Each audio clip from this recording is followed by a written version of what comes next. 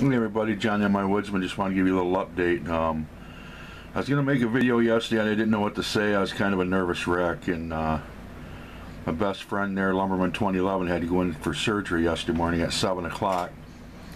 He had this bone spur on his uh, spine right below the right below the base of his skull and uh, it was something they couldn't operate for years. It's been seven years since it started and now it was the size of a oh, a ping pong ball, half a golf ball, and uh, nobody wanted to touch it. So he's been in pain all them years, and he ain't been making any videos because it's just been getting worse and worse and worse, and can't hardly function on a daily basis. So he finally found a specialist, and uh, he went down and had it done yesterday morning at seven o'clock. And they had the halo on him and the whole nine yards, and it was a, it was a successful surgery.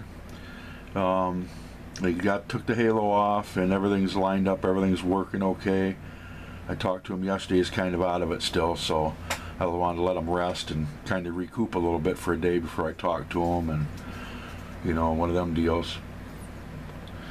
And I just talked to him a few minutes ago on the phone and uh, he's doing a lot better he's just got a ton of pain a lot of pain uh, he didn't feel it yesterday obviously because of all the drugs they had him on at the hospital but uh, he's hurting pretty good. He just laid back down, put an ice pack on, and he said he kind of feels kind of weird not to have that big lump on the back of his neck. And uh, so we're hoping and praying that uh, everything works out good and for the best. And we could use some prayers this way too if we would. Anybody that knows Lumberman 2011 definitely deserves it. So if you don't know him, you should. You should go check him out. Go check his channel out.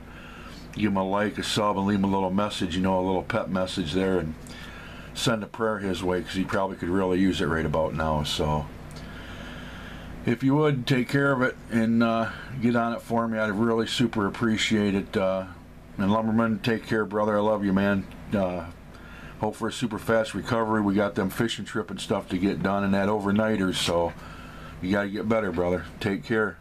And I'll talk to you again later tonight, everybody. Take care. Have a good day and God bless.